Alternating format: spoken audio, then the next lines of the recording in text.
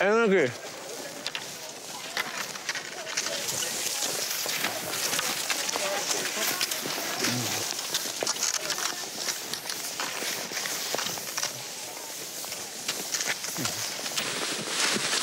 Du kan også vælge støj her, Thomas. No way. Sikker på, at du fortsætter. Ja, ja. Jeg bliver ved. Det kan jeg love dig. Du kan ringe til en ven. Jamen, jeg har stadig to livliner. Se, nu går det opad igen. De sidste 3.000 km, der har det gået op ad bakke. Jeg ved ikke, hvem fanden der har lavet den her løjpe. Prøv at se der, hvor let de glider. Jeg kæmper afsted. Jeg er sikker på, at folk de synes, det her det er rigtig, rigtig sjovt. Men jeg ved det ikke, for jeg kan ikke se deres ansigter. Jeg ser dem kun på ryggen, når de stryger forbi. Jeg kan fortælle dig, at øh, vinderen er lige kommet i mål. Er vinderen kommet, oh, er vinderen kommet i mål? Ja, Og jeg har kun løbet 34 km. det er en svensker. Ja, det tænkte jeg nok.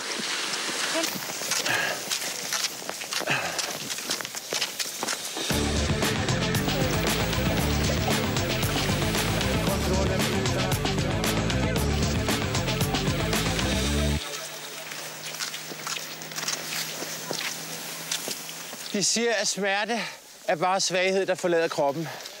Der er snart ikke mere tilbage. Vi er halvvejs. Nu begynder det at blive hårdt. Vi står och väntar på en av våra danska vänner. Thomas Urskov heter han och ska vara på ingång här om en liten, liten stund till Evertsbergskontrollen. 79-76. Thomas Urskov ifrån Danmark. Bara sett klarat den här fina anstormningen. Vi hoppas, gott folk, Et eller andet sted, det er jo fuldstændig åndssvagt. Det her løb, det er lavet for at fejre, at Danmark, eller at. Sverige løsrev sig fra Danmark tilbage i 1500-tallet. Dengang var Sverige ret lidt dansk. Det er det åndssvagt, at man som dansker deltager. Man burde løbe den anden vej. Jeg er træt, og det gør ondt. Og jeg løber sammen med nogle gamle mænd, som løber for hurtigt.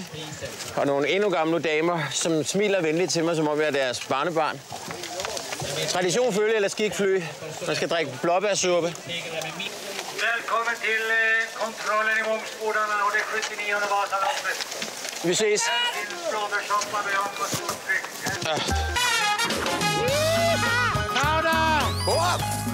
Wait on your front leg. Gør det aldrig.